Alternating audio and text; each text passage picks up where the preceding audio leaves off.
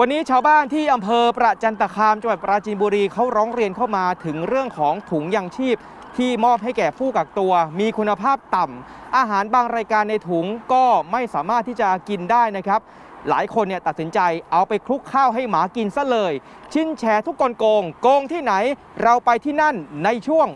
ชินสแกนโกงครับ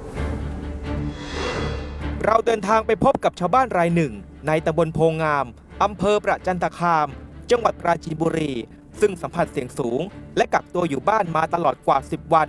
เตรียมที่จะกลับไปทำงานวันพรุ่งนี้ เนื่องจากผลตรวจรอบ 2 ไม่พบเชื้อ แต่สิ่งสำคัญที่ต้องการร้องเรียน ก็คือตลอดการกักตัว 14 วันนั้น เธอได้รับถุงยังชีพจากเจ้าหน้าที่ตามมาตรการเยียวยาของรัฐ แต่ปรากฏว่าแต่ละรายการในถุงยังชีพ เป็นสิ่งของคุณภาพต่ำอย่างเช่นปลากระป๋องที่เธอยืนยันว่าคนแทบกินไม่ได้ จึงต้องตัดใจไปคลุกข้าวให้หมากิน ไม่เคยกินอยู่แล้วเอาให้ลูกชายให้หมากินให้มาหารสชาติมันกินไม่ได้อะมันมันไม่อร่อย เนื้อมันแย่ๆเนื้อมันไม่ไม่แน่นเหมือนพวกยี่ห้ออื่นทำน้ำพริกปลากระป๋องยังไม่อร่อยเลยค่ะส่วนมากจะเอาไว้คลุกให้ลูกน้องให้หมาให้แมวค่ะค่ะนอกจากนี้ยังพบความผิดปกติของไข่ไก่ที่นำมาแจก เมื่อทีมงานชินสแกนโกง ลองนำไข่ไก่เบอร์เล็กตกเกรดมาเปรียบเทียบ ยังมีลักษณะที่ใหญ่กว่าไข่ไก่ของถุงยังชีพอย่างเห็นได้ชัดเขาก็ให้มาอย่างนี้เนาะเราก็ไม่รู้จะว่ายังไงกับเขาแต่มันกินไม่ได้ค่ะข้าวมันแข็งค่ะ ไข่มันก็เบอร์เล็กค่ะมันเล็กค่ะเนี่ยมันเล็กคือในท้องตลาดเขาไม่เอามาขายหรอกค่ะแบบนี้มันเล็กปลากระป๋องมันก็เนื้อมันไม่ค่อยอร่อย ค่ะค่ะยี่ห้อนี้ก็ไม่ค่อยกินกันอยู่แล้ว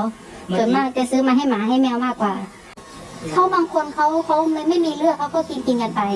แต่สำหรับพี่พี่ก็ก็เลือกอยู่ แต่บางอันก็เรากินได้เราก็กินอันไหนกินไม่ได้เราก็ไม่กินเพราะส่วนมากเรากินไม่ได้อยู่แล้วค่ะ ส่วนมากที่กินได้ก็เพราะเขาเอาน้ำมาให้แล้วก็กินน้ำบางทีก็น้ำไม่หุงข้าวบ้างอะไรบ้างซ้ำเติมมากเลยค่ะ คือเราจะออกนอกบ้านเราก็ไปถือกับข้าวไม่ได้ ไปออกไปข้างนอกก็ไปไม่ได้ แต่เขาเอาถุงยังชีพมาให้เราแต่ถุงยังชีพก็กินไม่ได้อีก เราก็ไม่รู้จะหันไปหาใครละแล้วนี่ก็บอกแล้วจะกินยังไง คือกินเท่าไม่กินได้ก็กินกินไม่ได้ก็ทำทำใจอะค่ะทำใจเราก็เรียกร้องอะไรไม่ได้เขาเอามาให้เราแล้ว จากการตรวจสอบถุงยังชีพดังกล่าว พบว่าได้รับการจัดสรรงบประมาณถุงละ 700 บาทต่อหนึ่งครัวเรือน จากทางเทศบาลตำบลโพงามอำเภอประจันตคาม จังหวัดปราจีนบุรี เมื่อนำรายการสินค้าในถุงยังชีพ ไปตรวจสอบตามร้านค้าปลีกต่างๆ พบว่ารายการทั้งหมดไม่ว่าจะเป็นข้าวสาร น้ำมันพืช บะหมี่กึ่งสำเร็จรูป ไข่ไก่ น้ำสองแพ็ค และปลากระป๋อง รวมถึงสินค้าอื่น ๆ มีราคารวมกันทั้งสิ้นประมาณ 611 บาท ยังไม่ถึง 700 บาทเลยทำให้ชาวบ้านหลายคนเรียกร้องให้ทางเทศบาลตำบลโพงาม ชี้แจงถึงเรื่องดังกล่าวอย่างโปร่งใสและเป็นธรรม